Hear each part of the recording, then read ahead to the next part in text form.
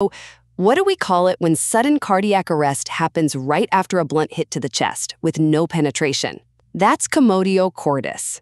Yeah, it's a rare thing, especially in athletes, but you have to recognize it instantly. First, what's the underlying pathology? Well, it's sudden death triggered by ventricular fibrillation, you know, where the heart's lower chambers just quiver instead of pumping. And importantly, this happens without any damage to the ribs, the sternum, or the heart muscle itself. Second takeaway who's most susceptible here, and does the timing of the impact actually matter? Okay, so it's most common in younger folks. Think kids between 5 and 15 years old. Their chest walls are more flexible, right? So the force goes straight to the heart. Now, the timing is incredibly specific. The hit has to land during this tiny window, the upstroke of the T wave in the heart cycle. We're talking just 1 to 3% of the whole cycle duration, super narrow window.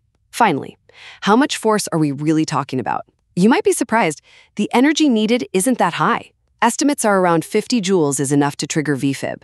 Just for comparison, a standard karate punch, that can deliver up to 450 joules. So yeah, you can see how sports like soccer, baseball, or lacrosse could easily reach that threshold. Recognizing that specific timing window and the low energy needed is absolutely key for spotting and preparing for this event.